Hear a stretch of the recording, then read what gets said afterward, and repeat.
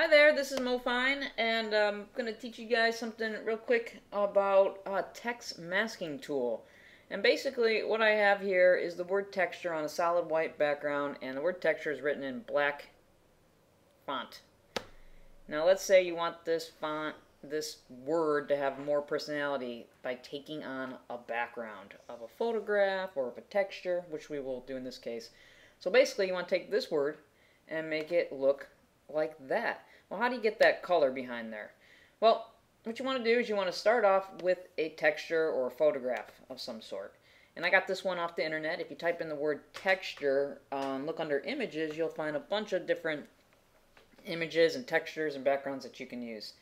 Um, first thing you want to do though is you want to make sure that your background isn't locked because we're going to be using it um, and moving it around a little bit. So uh, what you want to do is when it's locked is you just click and then uh, give it a new name. We'll call this background texture. And hit OK. Alright, so this is actually a pretty simple tutorial here.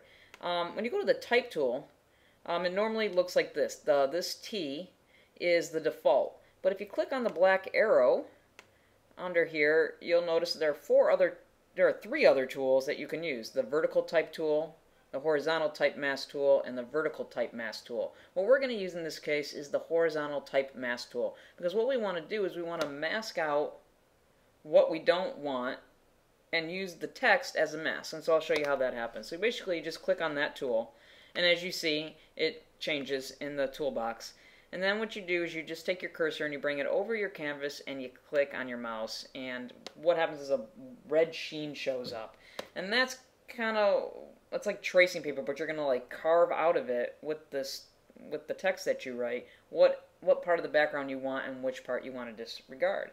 So um, basically, you got your type tool ready to go. I just moved it over so we can type right in the middle, and I have the word I have the uh, the the the um, font impact uh, because it's nice and thick, and I really want the the background to show up. So, and I'm going to type the word texture in capitals, and uh, move it over. You can move it around a little bit and uh, see, you know, where where you want to go. But you can see how a um, when texture was written out, it's no longer like a big solid black or white color. It actually has a, a kind of like a transparent look to it, and that's basically because we're seeing what's behind the red tracing paper, and that is what we're going to want to cut out. And then so basically, once you get your your word aligned and centered up where you want it to be, you go back to your selector tool in your toolbox, and as you notice, as soon as you click on it, a marquee is uh, is uh, put around the, the letters, and you have a selection. Now, the other thing you want to do is you want to have somewhere to bring it to. So either bringing it on a photograph, or in my case, uh, or in this case here, we're going to just bring it on this white background.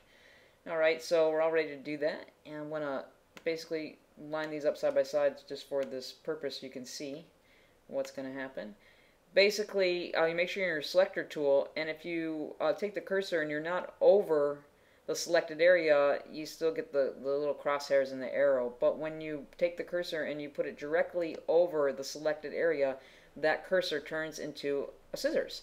And now all you do is click, and you can your mouse, you know, you click the mouse and you drag it, and then you can just drag it right on top of your other canvas, and boom, there you go.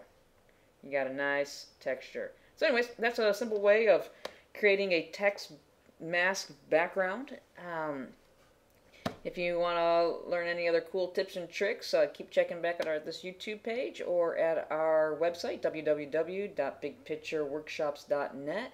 And also, if you're interested in, in workshops, um, Big Picture Workshops is located in downtown Seattle, and uh, you should check our schedule at our website. Uh, hope to see you.